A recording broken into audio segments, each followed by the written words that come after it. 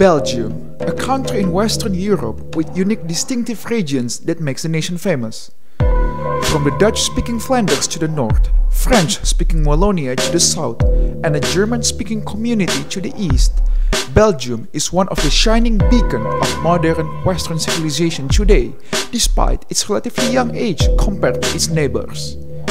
Belgium famous cities such as the capital Brussels and Antwerp are famous for business, tourism, fashion, culture, and more. On this episode of Foreign Insight, we'll have a talk with His Excellency Ambassador of the Kingdom of Belgium for Indonesia, Mr. Patrick Herman, and also Trade and Investment Commissioner, Ms. Nathalie.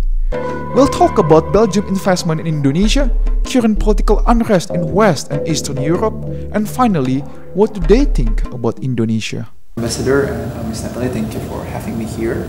It's been a pleasure. My first question will be about economic, our bilateral economic uh, relationship, right, between um, Belgium and uh, Indonesia.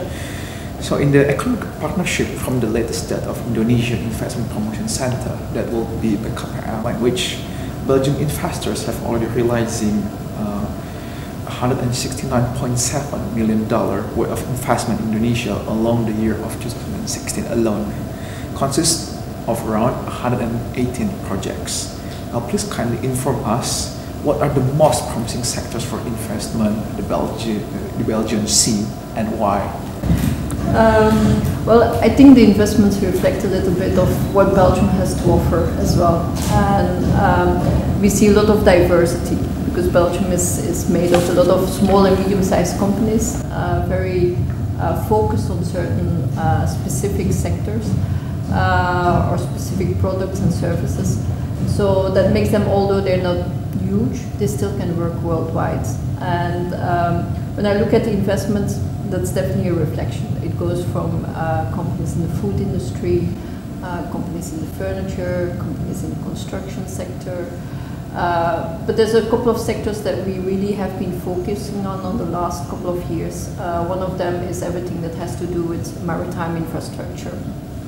We have quite a few of bigger companies that are active in construction of ports, uh, developing logistics and infrastructure, and that's definitely also one of the priorities for Indonesia. So there's definitely a very good match. Um, we also have a lot of companies in agriculture, uh, biotech, uh, the more advanced uh, development of, of certain agriculture uh, products or services.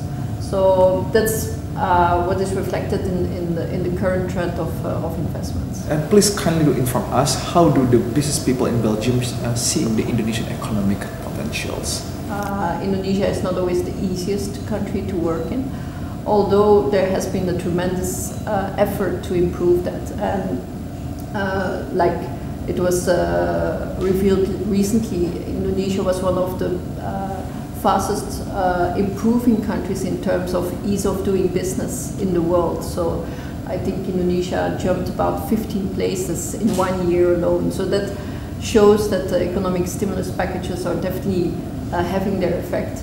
And that I think is what have, has attracted also a lot of companies to finally uh, come to Indonesia and invest here. What are the difficulties that the investors mostly faced in Indonesia?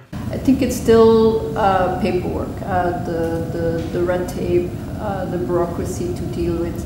Uh, it's, it's challenging because it's totally different environment. Um, uh, it's often where do we start and even more where do we end. Uh, it, it's, there's always new things coming up and so on. So Again, from the data of the IIPC, it seems that during the fourth quarter of 2016, the Belgium investment in Indonesia was rapidly increased.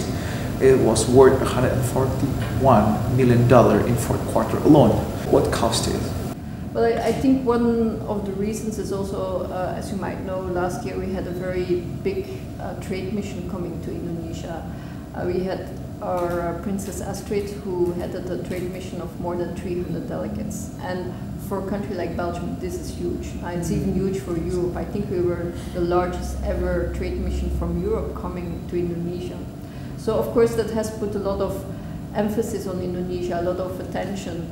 And although some of the companies were already working on in Indonesia, this really gave momentum and uh, it brought Indonesia in a very good uh, focus and, and, daylight where companies said, yeah, we have to be in Indonesia. And I think some of the, the value or, or the numbers that we see definitely is a result of that mission. So what do you see about the future between uh, our two countries, between Belgium and Indonesia in terms of investment? I think it will definitely increase, uh, especially if Indonesia continues on the, on the same path of economic reform and openness and transparency. I think there's so much potential and there's so much uh, both countries can contribute to each other uh, because I always think trade is not a one-way business, it's a two-way business. And what benefits for one country also benefits for the other country because the economy is now so global, um, it is important uh, that, that you both win from uh, this situation. And uh, I see the future quite bright for Indonesia and the relationship of Belgian companies with Indonesia as well.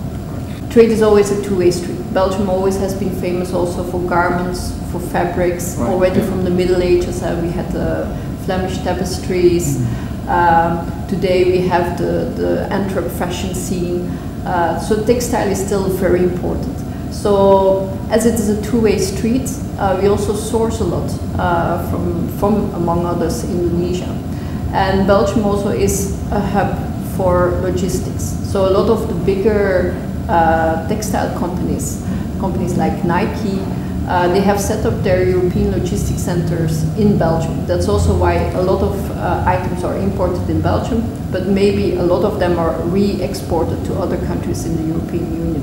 And that's because Belgium is so central uh, and so efficient for logistics that uh, a lot of companies choose Belgium as their, their uh, headquarters for European Union. Uh, can you give us a little bit of clue about how uh, how the uh, young entrepreneurship scene is going on in Belgium right now for the millennials? I mean.